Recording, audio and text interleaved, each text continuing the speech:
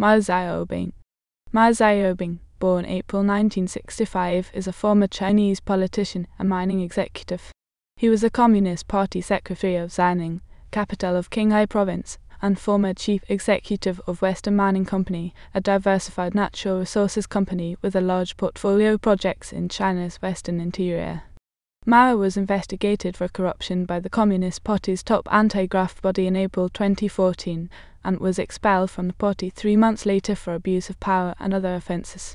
Early life and education Mao was born and raised in Chant, Hunan. He received his Bachelor of Engineering degree from University of Science and Technology Beijing in July 1985, majoring in industrial automation at the Department of Automation. Career Mao joined the Chinese Communist Party in December 1984 and became involved in politics in July 1985. From July 1985 to April 2000, Mao worked in the China Non-Ferrous Metals Industry Corporation, a state-owned company under the jurisdiction of the State Council of the People's Republic of China.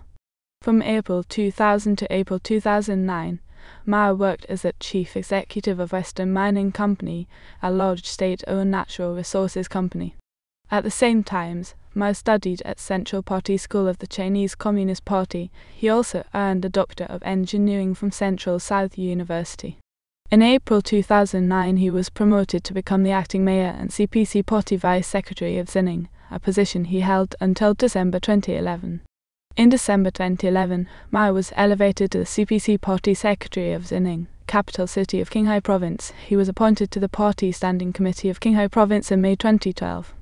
Mao was a member of the 10th National Committee of the Chinese People's Political Consultative Conference and a member of the 11th National People's Congress.